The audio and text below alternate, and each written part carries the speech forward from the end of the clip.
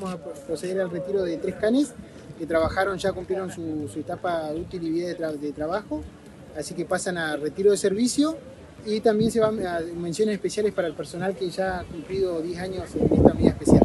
Bueno, el reconocimiento ¿no? para esos canes, para también para el trabajo de ustedes. Exactamente, sí, como nosotros eh, ya, lo, ya lo saben, este, trabajamos acá en el ámbito de la Unidad Regional Treleu, eh, a lo que va del año y el año pasado hemos tenido muy buenos resultados y intervenciones, así que bueno, eh, la dinámica de la jefatura continuar con, con, esta modalidad. Y sí, eh, es una mención por ahí especial para los canes por todo el trabajo aportado, así que bueno, van a pasar a, retiro para, para, el descanso. ¿Con el retiro de estos animales se planifica la incorporación también? Sí, exactamente, ya está planificado del año pasado, ya hemos este, adquirido, vinieron de Puerto Madryn, por ahí no sé si recuerdan que han tenido allá cría, así que vinieron tres y después bueno, tuvieron tres más acá.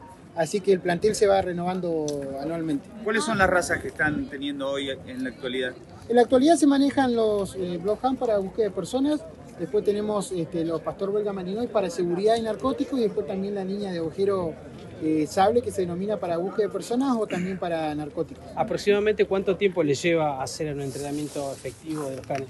Eh, tenemos una dinámica de aproximadamente entre un año y un año y medio, es, más, más o menos con todas las indicaciones, plan de vacunación, los procesos de socialización, ambientación, todo ese trabajo.